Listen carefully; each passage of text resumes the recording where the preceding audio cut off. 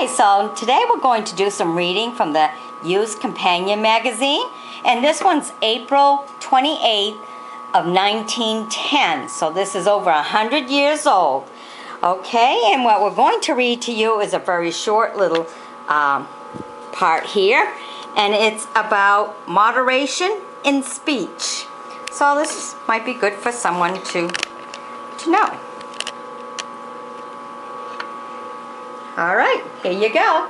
Read to you by Jennifer, my daughter. According to a magazine article by Amelia Barr Westmoreland, people seldom lay themselves open to an action for libel.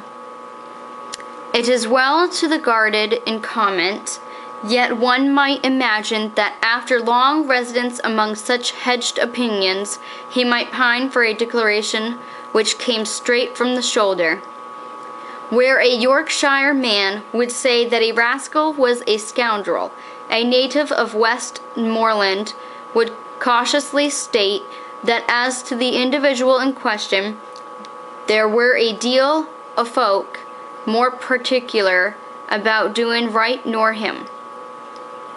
A bad man is a bad man the world over save in Westmoreland, where he is a vera moderate chap. In most countries, there is no reluctance in stating the fact of a hard rain.